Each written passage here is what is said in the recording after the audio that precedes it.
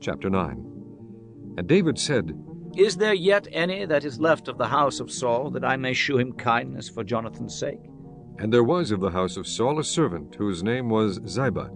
And when they had called him unto David, the king said unto him, Art thou Ziba? And he said, Thy servant is he. And the king said, Is there not yet any of the house of Saul, that I may shew the kindness of God unto him? And Ziba said unto the king, Jonathan hath yet a son which is lame on his feet. And the king said unto him, Where is he?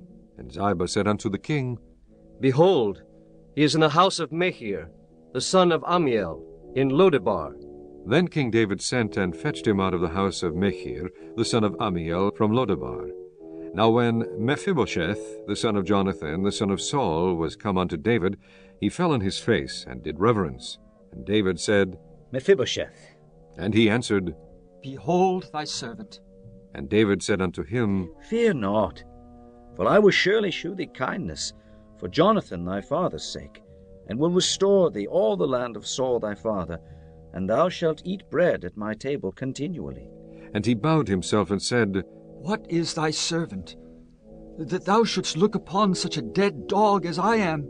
Then the king called to Ziba, Saul's servant, and said unto him, I have given unto thy master's son all that pertain to Saul, and to all his house. Thou, therefore, and thy sons, and thy servants, shall till the land for him, and thou shalt bring in the fruits, that thy master's son may have food to eat. But Mephibosheth, thy master's son, shall eat bread alway at my table. Now Ziba had fifteen sons and twenty servants.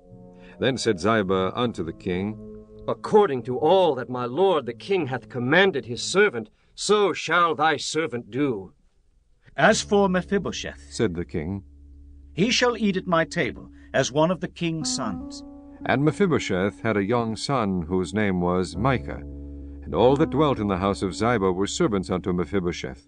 So Mephibosheth dwelt in Jerusalem, for he did eat continually at the king's table, and was lame on both his feet.